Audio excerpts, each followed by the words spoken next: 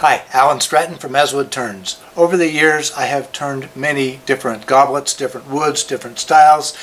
I wanted a simple goblet for today, but let's let's see what we can could do. This is a uh, green turned goblet out of a branch. This is a larger branch, green turned. It warped, but it also cracked here on the bottom. This was dry wood, but natural edge. This is another dry wood, but a single piece, kind of single piece and more single piece here. Uh, single piece happens then to be a almost a test of skill because you're hanging out a long way from the lathe and you have to have this risk of the stem breaking while you're turning it.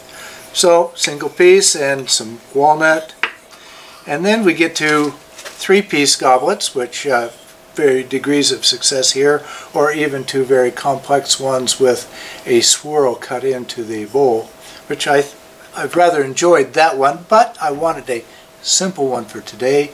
So how about that we turn this three-piece goblet it's got a nice bowl, but it's still not so big that it is hanging out and causing problems and big risk. It's got a stem, but with the stem being a separate piece and not so long, the risk is much less. And then we can do a good job also on the base instead of one that is just simply flat and sanded. So let's turn this three-piece goblet. After roughing this walnut between centers, the only things left to do are to cut tenons on both ends of the cylinder to fit my chuck jaws and to decide how much wood I want the, to the goblet bowl. Since parting the wood into two pieces is dicey on the lathe, I decided to take it to the bandsaw. But cutting a cylinder on the bandsaw is also very dicey. The blade could catch the start of the cut and rotate the wood out of control or similarly at the exit. However, I clamped the cylinder with a wood clamp to prevent the wood from spinning.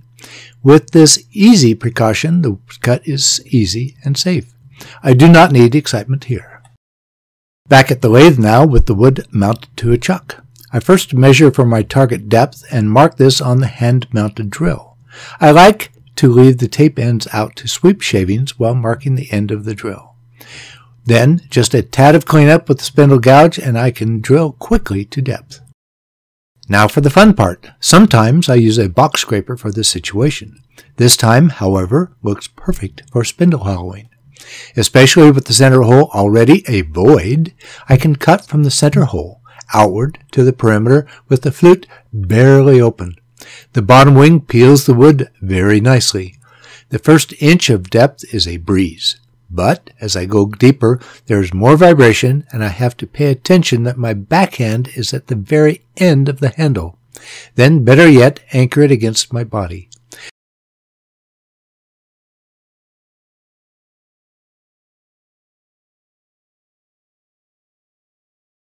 I clean up the straight sides with the box scraper to make sure they are straight.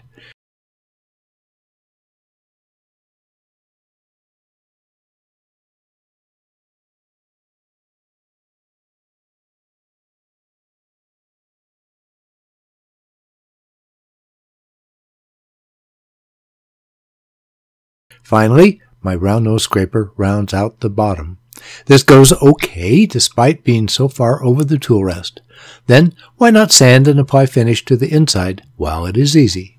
Now it is time to tool down the exterior. I have a faceplate on my threaded live center to support the wood. I've seen others use all kinds of support here, including a tennis ball. However, I like this approach since I do have a threaded live center. Without some support here, the wood would vibrate more and quite possibly mimic a UFO. Neither is acceptable. I frequently stop the lathe and check wall thickness with my finger calipers before moving on. Why not at least one check with official calipers?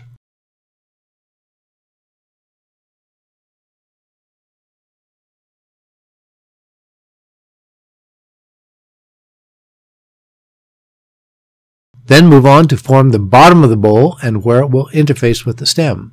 Since I am not turning a one-piece goblet, I need enough wood at the base to avoid short grain at the bottom center and wood for a mortise to accept a tenon from the stem. Plus, I do not have to waste a lot of wood turning everything down to the stem diameter. I sand and apply finish here also. There is only a little bit at the very bottom that I will have to redo later. I have fiddled a lot with various ways to hold a partially completed project while finishing the extreme end. Ever since I first used these on my square box, I have developed a lot of variations of the pin jaws. They are good for light duty work. The bolt provides the strength of steel and attachment to the chuck jaw base. While I 3D print mine, they are also easily turned from wood. This set has a has a platform the goblet lip can sit on, and a reverse taper to accommodate the rounded goblet bowl. Without the reverse taper, the goblet would not stay put. With the goblet mounted with the pin jaws and centered by the original divot in, with the live center, it does not take much to waste off the old tenon. Then shape the remaining part of the bottom and drill for the mortise. Then touch up the sanding and finishing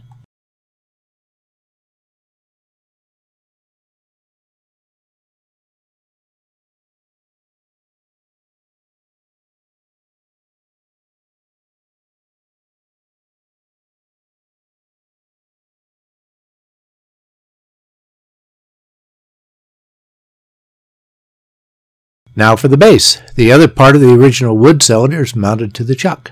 I will not need all that wood. I'll save some for a later project.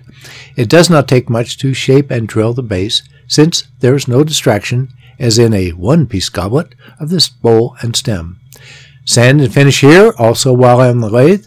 There's no better way to sand and finish a lathe project. However, I incorporate a small edge to serve as a tenon for a future mount.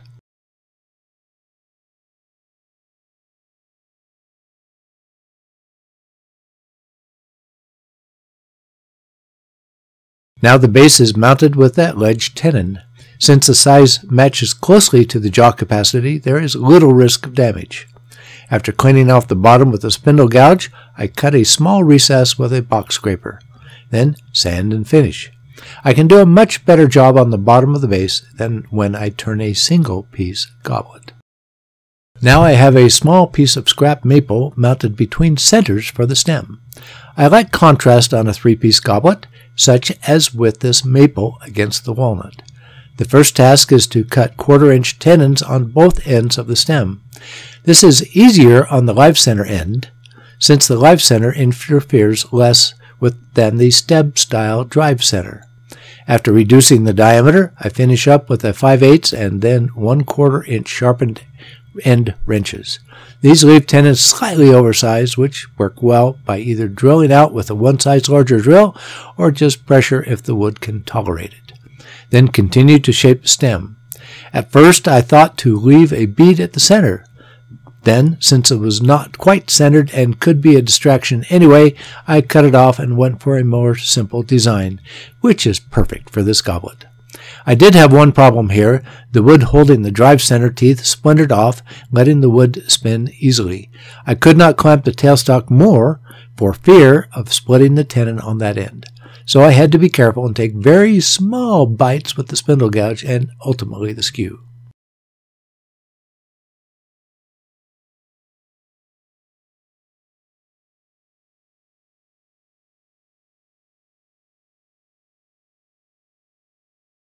This completes my three-piece goblet of walnut and maple finished with wipe-on poly. Three-piece goblets are significantly easier than one-piece goblets. They also have a higher success rate since there is little risk that the stem breaks and ruins the whole project. Using multiple woods also provides visual interest. The downside is that there are fewer bragging rights. Meanwhile, please give this video a thumbs up, subscribe to my website as well as on YouTube. Please spread the word by telling your friends about my weekly videos. I also appreciate your comments and questions. Please wear your full face shield whenever the lathe is running. I hate to nag, but are you wearing yours?